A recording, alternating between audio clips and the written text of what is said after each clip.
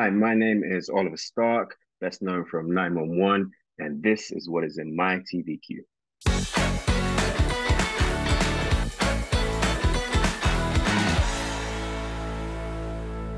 So, the thing that I cannot get enough of at the moment is The Bear on Hulu.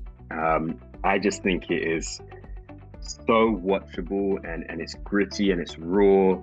And uh, Jeremy Allen White, who, who leads the show, is just so fantastic in it. And, and, you know, you really feel like you're in the kitchen with them, which, you know, at certain points can be um, really stressful, but it's a it's the kind of stress and, and anxiety inducing that I, I really enjoy. Um, so yeah, I just think everybody in it is fantastic. I think it's fantastically written. That the food looks amazing. Um, I, I, can't get enough of it. I have two episodes left, and I'm almost reluctant to watch them because I don't want to finish it.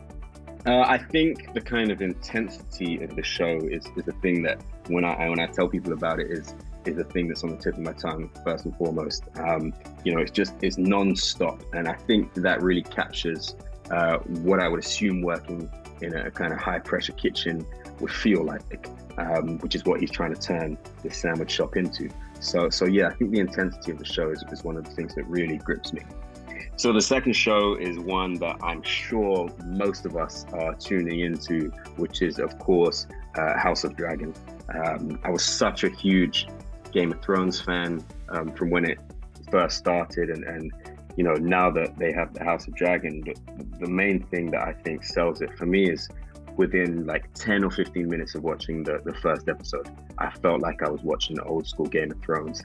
I just think it perfectly has captured that world and, and continued the mythology of all of it.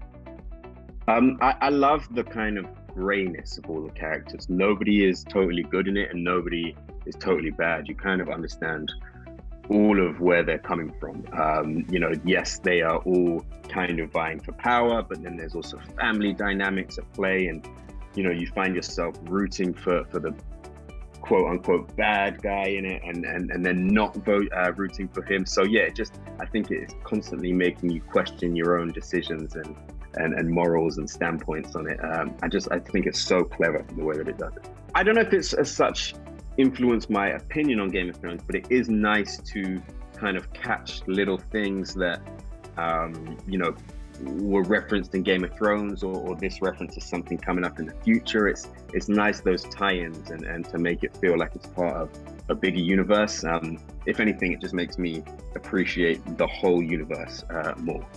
The third show that uh, I finished a little while ago, and I was actually quite sad to finish it, is uh, Our Flag Means Death, which was a show on HBO uh, about pirates. I just thought it was so lovely. It, it really makes you laugh, but then it's also heartwarming and, and, and you know moves you and you, you fall in love with all of the characters even though they're you know these pirates that have been cobbled together and uh, you know with a not really great captain and, and but it's just really as i say heartwarming and, and i enjoyed it really from start to finish. So actually to be honest with you one of the reasons i started watching it is um, there are a couple of actors in it that, that I've become friends with over the years. One of them actually was in an episode of 911 with me and so i wanted to check out their work and I didn't really know too much about the show when I began it. I hadn't seen any trailer or any preview or anything like that. I just sat down and watched it. And by the end of the first episode, I was, you know, already my hand was moving to the remote to, to queue up episode two and, and continue my journey with it. And that's what is in my queue.